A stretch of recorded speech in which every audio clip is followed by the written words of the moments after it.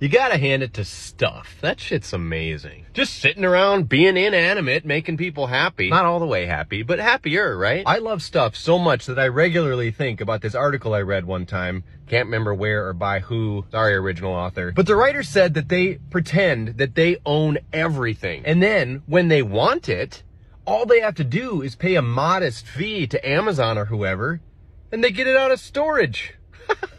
Everything's yours and it's being held for you free in these massive warehouses all around the world. It's being manufactured for you before you've even said you want it. And all you have to do is pay the storage fee after the fact. Amazing.